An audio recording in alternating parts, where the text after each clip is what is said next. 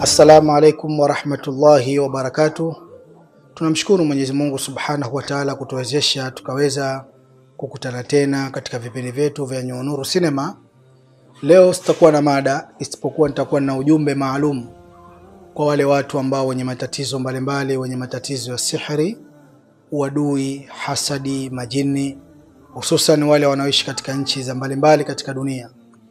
E, tuna tunataka kwamba watu waondokane na hii mitihani, lakini hakuna njia ya kuondokana na mitihani hii pasi na kumwomba Mwenyezi Mungu Subhanahu wa Ta'ala katika yale ambayo Mungu amekuwezesha, na hakuna ambaye anaweza kuondosha isipokuwa ni Allah Subhanahu wa Ta'ala matatizo yako, lakini Allah akasema niombeni, nitakupeni.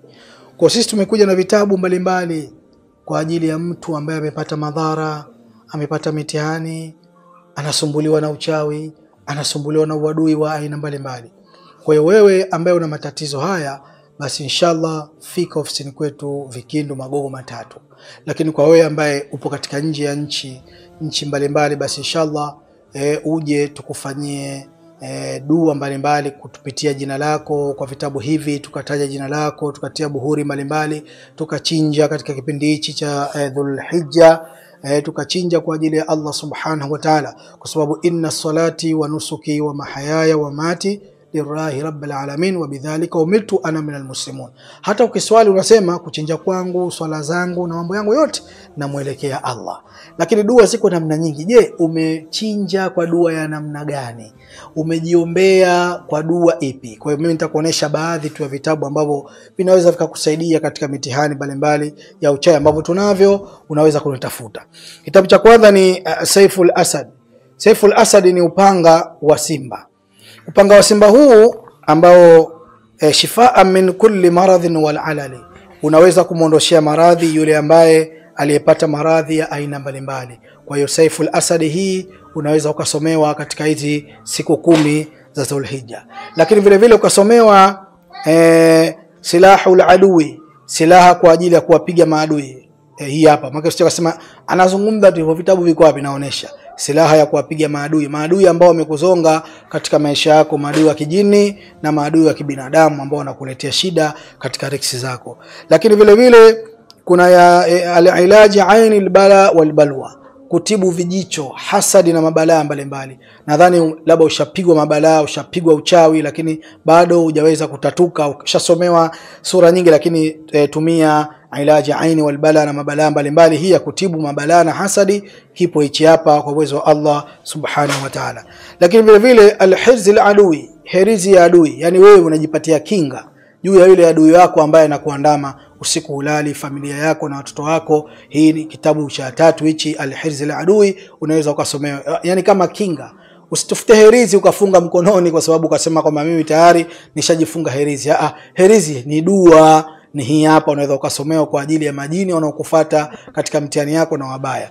Lakini vile vile unaweza kutumia hadharati duau silahul mu'min. Hii ni kinga, silaha kwa muumini muumini ambaye wewe unayeswali unaifanya ibada, unaweza kuwa unaswali lakini kwa unaandamwa na maadui, kwa utatumia silahu la adui, hii silaha ya maadui kuwapiga maadui zako. Wao wanakupiga silaha za uchawi na wao wanapiga silaha za Mungu kwa ajili ya kujitetea. Lazima muumini ajitelee, ajitetee. Almu'minu qawiyun, muumini aliyokuwa anajitetea ni bora. Sio wewe umepita Manzese pale mtu anakuvua kofia na kupiga mitama, wewe nipigeni mie, nipigeni mie mpaka mnimalize. Hapana, ujitetee Muislamu, ujue unajitetea vipi katika njia mbalimbali za hasa hawa maadui wa kijini. Jini anakupiga na kutesa maisha, unajitetea kwa silahu almu'min. Lakini vile vile kuna hii jauhari alqurani fi alalali wasihri wa dafi ashar. Jauhari alqurani manake ni ile ile Qurani lakini imetolewa ime, ime, ime, ime zile aya na sura maalum ambazo zilizokuwa zinamwangaza kwako kwa ajili ya maisha. Hichi kwa ajili ya riksi za mtu ambaye hajaolewa, bi harusi anasomewa hii, mtu ambaye ana madhila ya kazini kwake, mabosi hawampendi katika njia mbalimbali, anasomewa jauhari alqurani fi halal aqdi wasihri wa dafi'a shari minan nikahi wa taji larusi wa ghairi dhalika, katika masuala ya ndoa na mambo mengine. Lakini vile vile kuna hii yasini raadi, yasini raadi maanake yasini ile ile, lakini imewekwa kwa mfumo wa kupiga hii inapiga unarudisha mapigo aliyekupiga na wewe unampiga. Hafadhata min aladai wasiri kujihifadhi na maadui zako na wachawi ambao wanakutesa. Vile vile kisomo hichi ukija hapa e, kitabu hichi unaweza ukakikuta. Lakini vile vile kuna adduai wa awwalul qasam. Hii ndio dua awwalul qasam manake kukisimiwa riski hii ni dua ya kuomba riziki. wale ndugu zangu ambao hawana kazi hawana kazi wamesoma eh, kazi zao hazendi madalali hawana biashara kwa hiyo hii awwalul qasm unamwomba Mwenyezi Mungu akukisimie riksi ile riksi aishushe ije kwako moja kwa moja eh, ailete wama min dabatin fil ardi illa ala llahi rizquha kwa hiyo awwalul qasam hii dua awal qasam ni unakisiwa riski zako unamuomba Allah. Ya Rabbi usinikisie nipe zote. Ndio maana watu wanapata utajiri wanapata mali kwa sababu ya kuomba tu dua kama hizi na utajiri unaopata kuliko kwenda katika njia nyingine. Lakini dua nyingine yasini chwaka. Kwa nini imeitwa yasini chwaka? Unasema ah, shekhe kuna yasini chwaka tena? Yasini chwaka maana yake huyu alitunga kitabu hichi albiharu lkubra ameweka ile yasini kama ni bahari kubwa. Ameweka yasini na akaiweka na dua zake. Kwa hiyo huyu alikuwa ni mwanachuoni wa hapa kwetu zanzibar. E, ndo akatunga huko huko chwaka huko alikuwa. Anakaa chwaka ni eneo. Kwa hiyo akaitwa maarufu wake ah yule bwana aliotuma yasini chwaka. Hii yasini hii ikisomwa katika chumba ambacho kina kiza akisoma mwanachuoni kweli taa inawaka mwangaza mkali. Unakuja kwa hii asinichwaka. mimi nilishajaribu hii juzi kuna sehemu nilikwenda kuna nyumba ina, ina matatizo ya kijini nikasoma yasini chwaka hii hapa yasini chwaka ina dua zake. Lakini mwisho hii inaitwa adduau junjumia. Eh, hapa kwetu Zanzibar ukiamba ah yule bwana akasomewa junjumia yule mpaka akawa chizi ndo hii. Hii inapigwa hii kwa ndimu sijui shindano kuna vitu vyake maalum washirikina wanaifanya. Lakini hii kawaida yake inatuliwa buhuri tu. Buhuri maka sandarusi na buhuri ya jumanne lakini ina, inachukuliwa labda kichinjio kwa mtu ambaye anataka kufanikiwa kwa haraka.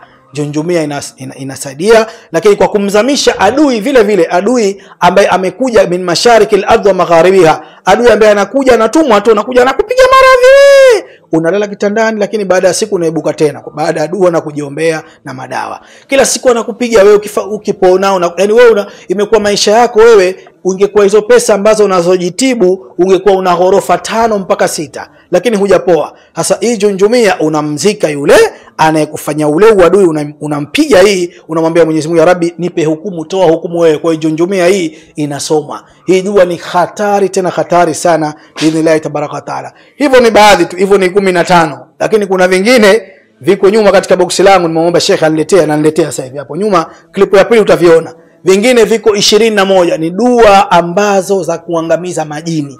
Shekhe hebu fanya haraka haraka eh, vilete nani tutakata hii vilete hivyo vitabu kwaje kwa mtakuja kuviona. Cha msingi tu wewe hudhuria hapa eh, kituoni kwetu lakini vile vile wewe uliokuwa katika nchi mbalimbali ni wakati wako huu wa idhi dhulqaada siku kumi hizi za mwisho za kufanya makafara haya ili mradi na utachinja nasisitiza lazima uchinje kwa ajili ya Allah kwa vitabu hivi. Utachinja kwa uwezo wa Allah utachinja utaomba dua lakini wala mbuzi wala ghanam sawa hata kondoo utachinja kwa ajili ya Allah na dua zake Mwenyezi Mungu akufanikishe. Namba yangu ya simu ni 0714657173 narudia tena 0714657173 njoo hapa ofisini kwetu kama unavyoona mazingira haya utakuja utasoma. Lakini kama wewe uko nje ya nchi namba ya WhatsApp inapita nipigie tuzungumze tujue tunaifanyiaje familia yako kwa vitabu hivi? Wewe mwenyewe tunakuokoa vipi kwa vitabu hivi We, wazazi wako tunawaokoaje? Wana maradhi kwa vitabu hivi? Ndugu zako tunawatoaje katika shimo la dhiki na mitihani kwa vitabu hivi? Ndoa yako tunaekoaje kwa vitabu hivi? Sheikh Salum Damba wassalamu alaikum warahmatullahi wabarakatuh